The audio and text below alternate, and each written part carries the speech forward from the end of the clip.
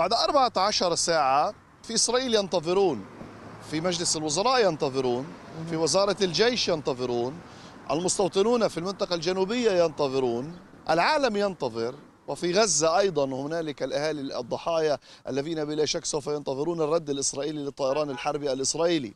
هذه الساعات ليست ساعات سهلة أبدا لا بالنسبة للإسرائيليين لا القيادة السياسية ولا حتى القيادة العسكرية.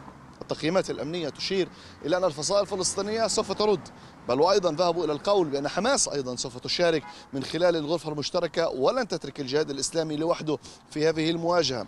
ليس بسبب المناكفات السياسية فحسب التي حدثت قبل عدة أشهر عندما تركت الحركة الجهاد الإسلامي لوحدها ولكن حماس ترى أيضا بأن الذي حدث كان غدرا وأنه يجب أن يكون هنالك رد على الضربة الإسرائيلية ليس فقط غير المتوقعة والتي جاءت في صلب منازل الفلسطينيين. منازل القيادات الفلسطينية التي قتلت الأطفال والنساء.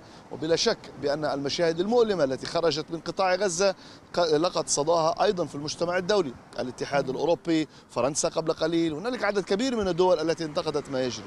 ولكن ماذا بخصوص الاجتماعات الأمنية؟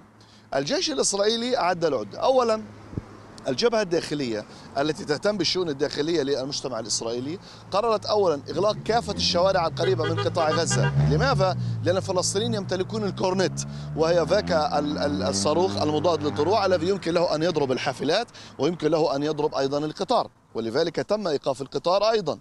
عدد كبير من المستوطنات المحاذيه بقطاع غزة وإن كان عدد سكانها قليل ولكنهم نصحوهم بالمغادرة. جزء غادر وجزء سوف يبقى. وذلك بلا شك ضمن خطة وضعها وزير الجيش الإسرائيلي للحفاظ على حياة الإسرائيليين. المدارس كلها أغلقت. الجامعات كلها أغلقت في مدار الأربعين كيلومترا. في الوقت الذي في الصباح كانوا يقولون بأن هذه الضربة يمكن أن تؤدي إلى ضرب عسقلان أسدود لربما بئر السبع.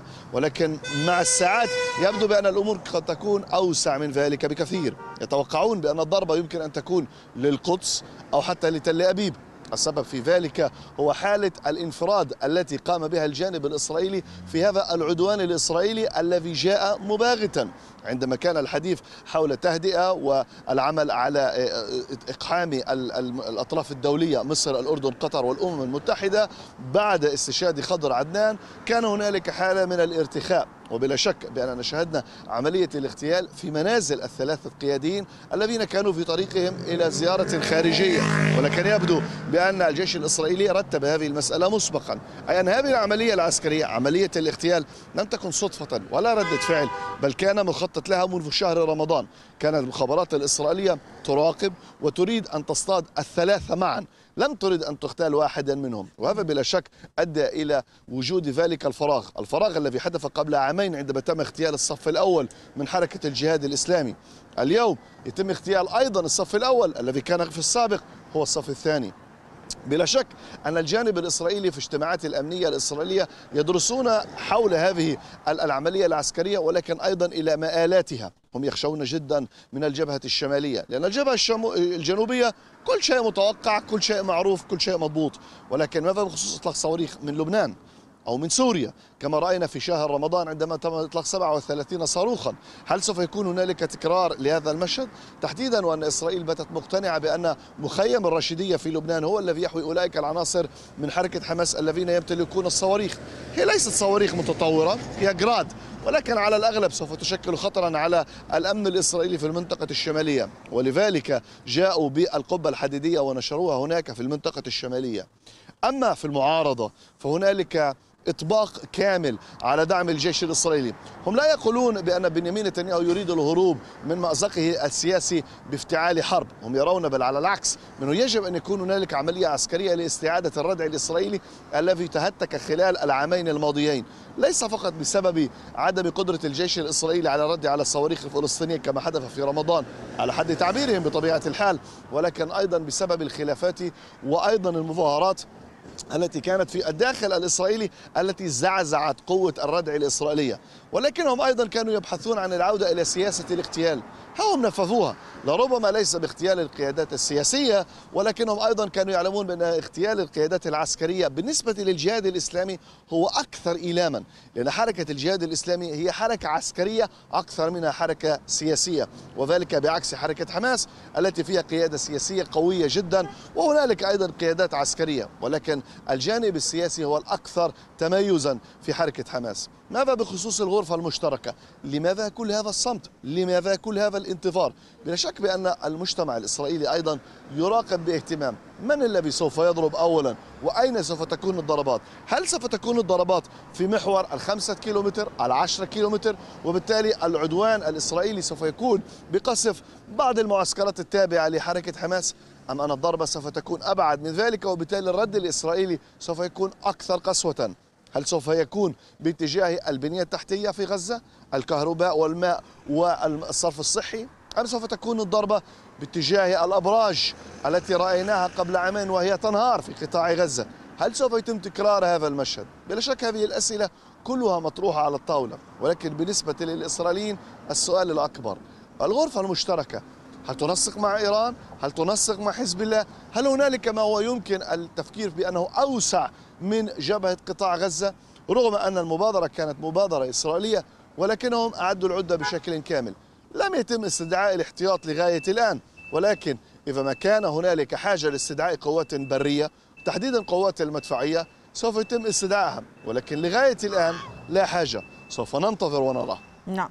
يعني آه، إضافة إلى كل ما تذكره أحمد آه، البديري لو تضعنا بالقليل حول آه، مساعي التوسط لعدم التصعيد علما أنه إسرائيل لم تلتزم بكل مساعي التهدئة وهنا نطرح أيضا علامات استفهام حول ثقة الوسطاء بعد بأي للتوسط بأي مساعي لإسرائيل. هنالك أربعة أطراف. مصر قطر الأردن الأمم المتحدة. لا يوجد هنالك طرف خامس. هذه الأطراف الأربعة هي التي عمليا تقوم بالتفاوض. في العادة مصر والأمم المتحدة تكون أكثر يعني إحرازا للتقدم لأسباب لها علاقة بالوضع الجيوسياسي. الذي فهمناه من الجانب الإسرائيلي بأن الآن هو ليس الوقت المناسب وذلك للحديث حول مساعي التهدئة. بمعنى أن الجانب الآخر أي أنهم يقولون بأن الجهاد الإسلامي لا يريد أن يستمع لأي شيء رغم أن هذه العملية العسكرية وهي نقطة غاية في الأهمية تم التنسيق معها مع الولايات المتحدة.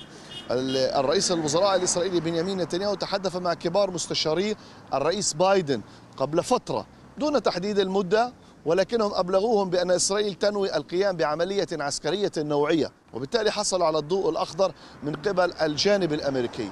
الأمم المتحدة بدورها وكما جرت العادة تم إطلاق بيان تحذيري من مغبة الانزلاق في هذا التصعيد الأمني وطبعا بأن هنالك دعوات لوقف التهدئة.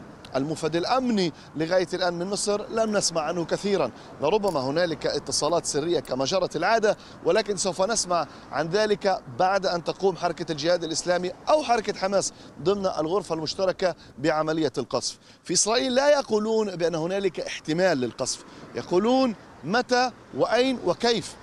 أما تنفيذ عملية الإطلاق بالنسبة للإسرائيليين هي شبه أكيدة يعلمون تماما ولذلك أعدوا العدة مسبقا.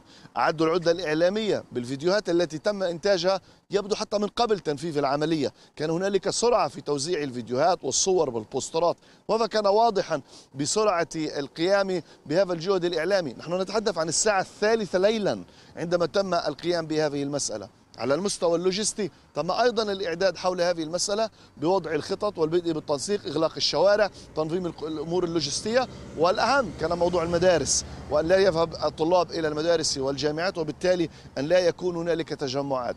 في الساعة الثالثة ليلا عندما تمت العملية كان هنالك عشرات الألاف من اليهود المتدينين في طريقهم إلى الشمال إلى جبل الجرمق.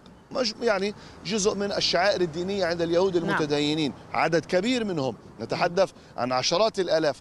أيضا هذه الحافلات جزء منها تم إيقافها وإرجاعها وذلك كي لا يكون هذا العدد الكبير. نعم. وبالتالي الوسطاء الآن لا يمكن لهم الحديث إلا بعد أن يكون هنالك ضربة من قبل الجانب الفلسطيني. وهذه الضربة لغاية الآن مهم جدا أن تكون متوازنة بمعنى أنه إذا كانت هذه الضربة إلى القدس وإلى تل أبيب الرد الإسرائيلي سوف يكون مختلفا لو كان الرد على منطقة أقصر. بلا شك أن حماس والعدد كبير من من الفرقاء السياسيين لا يريدون الانزلاق بحرب مفتوحة ويريدون الضربة أن تكون في مدى أصغر. عسقلان يعني, يعني كل هذه الغلاف غزة. نعم. أما حركة الجهاد الإسلامي التي تشعر بأن هنالك بسام السعدي هنالك خضر عدنان والآن هنالك القيادات الثلاثة للجهاد الإسلامي تكبدت العديد من الخسائر.